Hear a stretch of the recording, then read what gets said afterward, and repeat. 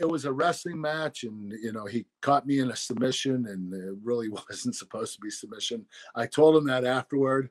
I said, "You're a dumbass because you pinned yourself," and uh, you know, but but I like Dan.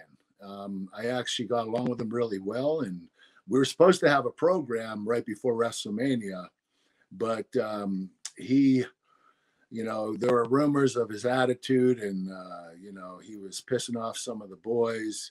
Uh, you know, he told somebody he was in the main event at Royal Rumble, and uh, you know, they were like, "What are you talking about? You're in the main event." He said, "Well, I'm in the Rumble," and they said, "That's not the main event."